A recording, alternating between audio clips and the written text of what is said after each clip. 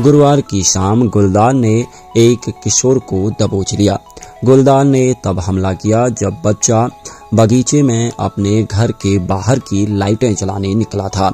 उसकी चीख पुकार सुनकर उसके बड़े भाई ने गुलदार के सिर पर जोरदार डंडों से हमला किया।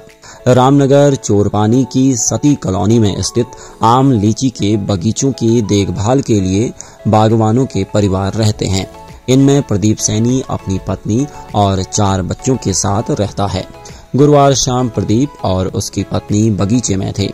शाम सात बजे अंधेरा होने पर प्रदीप का आठ वर्षीय बेटा मनीष घर के बाहर बल्ब जलाने निकला। बल्ब जलते ही मनीष की नज़र गुलदार पर पड़ गई। रोशनी होते ही गुलदार मनीष पर झपट गया। मनीष ने गर्दन पर हाथ रखकर खुद को बचाया। लेकिन गुलदार ने जबड़े से मनीष की टांगे पकड़ ली और बगीचे की ओर खींचकर ले जाने लगा।